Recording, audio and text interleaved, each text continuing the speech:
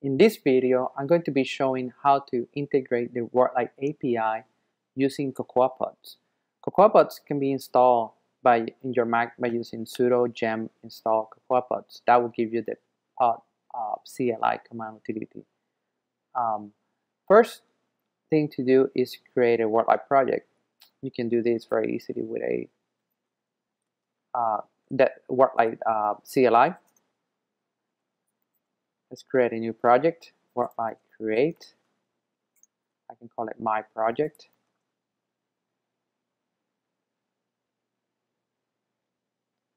Change into that directory. It's a typical WorkLight project. Then you can add a native iOS API, WO add API. Call it something like W native iOS. Select iOS for the environment. Then our sample app will be uh, creating an adapter. So let's create an adapter. W add adapter. We'll call it news. HTTP, select defaults, and that's the adapter. Next thing is, is build and deploy. And let's open the console when that's done. So we know everything is ready. So this will create a typical project with a native iOS app and one adapter that will be connecting our app. So it looks like it's ready. Next step is let's download a sample app, uh, very, very uh, generic uh, native iOS app. You can clone the repo, download the zip file, download it. I'm downloading the zip file. Um, on, on zip that, that app, it's a very generic um, iPhone app. Let's move it to the desktop. We can rename it to My App. Then let's open Terminal. Again, uh, we can move to, that directory on the desktop. My App. Uh, we can open the app. We can see what it do, does. Uh, basically, out of out of the box it's just it's a simple uh, native iOS app um, that doesn't doesn't integrate the WorkLight API yet. We need to add the WorkLight API and then enable the code to use it. So let's run the app.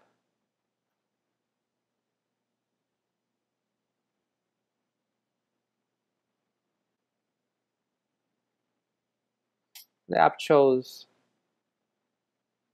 two news. This is just uh, fake data locally um, put in the in the app. So let's close the Xcode project. Every time you do a uh, CocoaPod, you have to close um, the project or workspace. So the way CocoaPod works is you have to create a pod file. So let's create a pod file. Let's open this file sorry, not the file, is pod file. And then um, we're going to use uh, the repository that I created to host the like API CocoaPod. So let's copy these two lines, go over what they mean. First one is platform iOS. It means that this app will be for iOS. Uh, the version could be 6.0, 5.11, 7.0.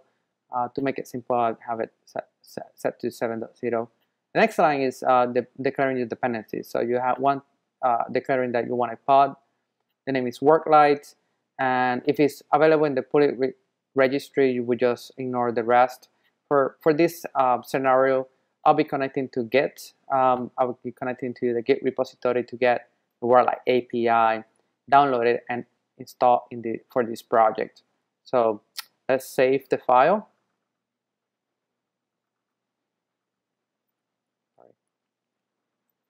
Save the file, go back to terminal, and if you go back to terminal, you can inspect that you have the content correct. Then run pod install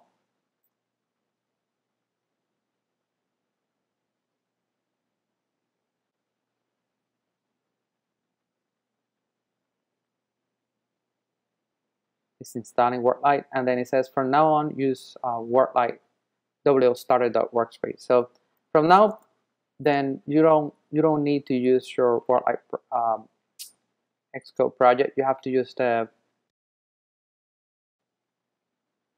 and the reason is because your work your uh, iOS project is intact and then it added a second project so you're dealing with two projects one is your app for your app and um, the CocoaPod utility left your project intact the only thing that it did was add this pods uh, xcconfig file for your configuration but other than that it left it um, as it was then it added a second project which is your, uh, your uh, dependencies and it's installed um, in this case one pod file which is WorkLight.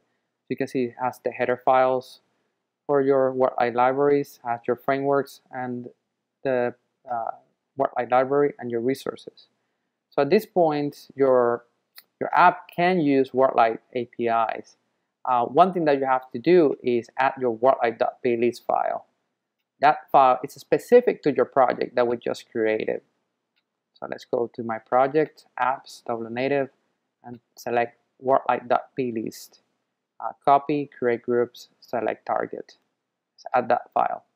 So this file tells your app um, where is the WorkLight server located, the host or IP address, the port, the context root, and all the information. So it's specific to your project. Um, the WorkLight API is, is generic to WorkLight. So to change our this app, very simple app, just go to CS table view controller.m. At the top, change the variable WorkLight to instead of 0, 1.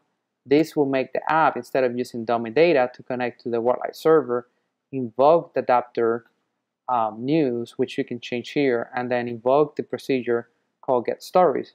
This will connect to the backend, in this case, the CNN RSS feed, and get stories and put them in the in the app. So let's Command Shift K to clean, Command R to run the app.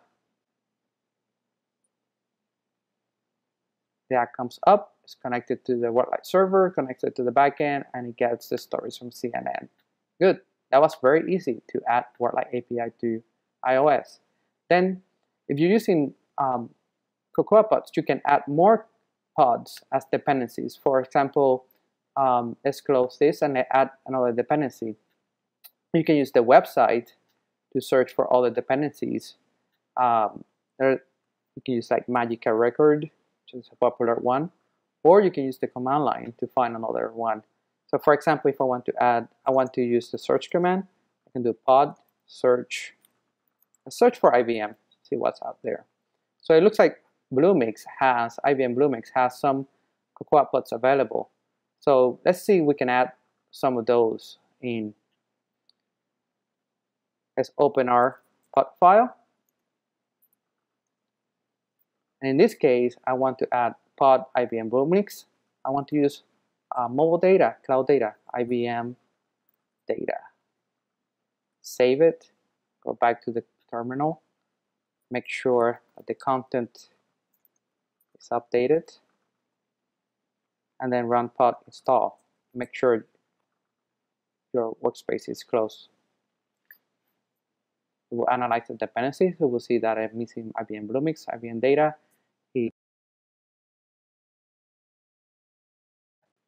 He will install it. Now we can open this folder, open the workspace in Xcode.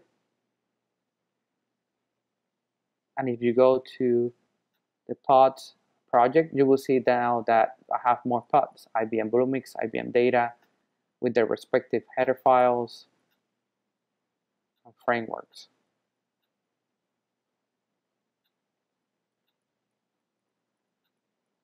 So at this point, I can add Bluemix functionality to my WorkLight app. So very easy to add a CocoaPod to a WorkLight app. Another way you can install the CocoaPod for WorkLight API into your app is using Path instead of a Git repository. So when you create a when you create a WorkLight project, we we export the WorkLight API into your apps folder. So let's see how we do that. So let's start by uh, with a new app. The app we just downloaded. we can unzip it, our sample app, copy it to the desktop, and let's name it this one, my app 2. Say new app, and we want to add the pod file. Let's go to the terminal. Let's move to that directory.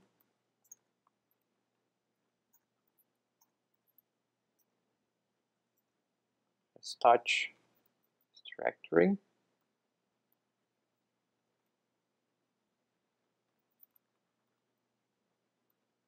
file. Let's open this file. So in this case, we want to use a path. So we can use the information that is available here. And trick is, instead of using a Git repository, we'll be using path. And where we created the path, the path is to the location of our um, project. So we created the project here, but we need the path to our apps folder. To native, and we want to have the path where this WorkLight API folder is located. So we want we want this this path, and we put it here. And what this would tell the CocoaPod utility is go into this folder and look for worklight.podspec, a podspec file. So we need that file to be created.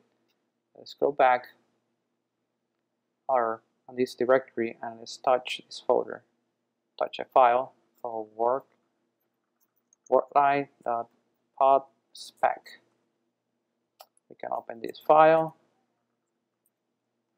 and it's empty. So we can go to the website and open a worklight.podspec that we use from Git and just use the content. Basically it gives the instruction on how to add this WorkLight API to your app. Let's go back to our text editor.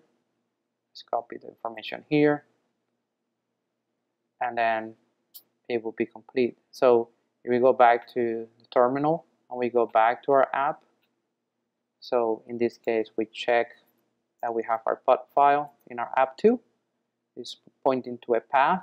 And this is the typical scenario when you are uh, developing for uh, contributing a pod file. So you instead of consuming a pod file, you're creating a pod file. So for debugging and implementing a pod file, you'll be using path. So you can test locally in, in a directory. So in this case, let's run pod install.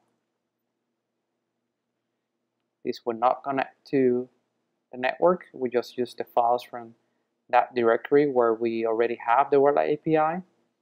Then we can open the workspace. So you don't need to open the project anymore. You have to open the workspace from now on. So let's open the workspace.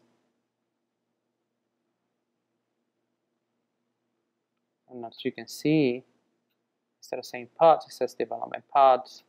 You can see the information for our API. We can go to our app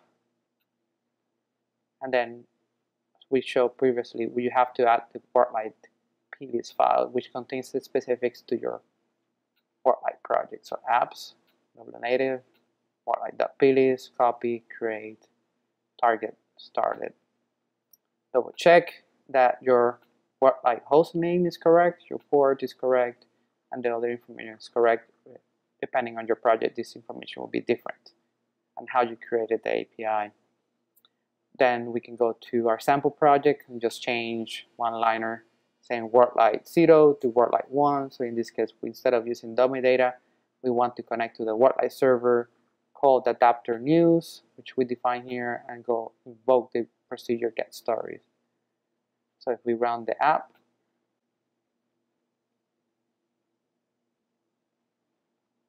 you can see it's connected to the WorkLight server. So two ways of adding a CocoaPod to your app. Very easy, very fast. Thank you.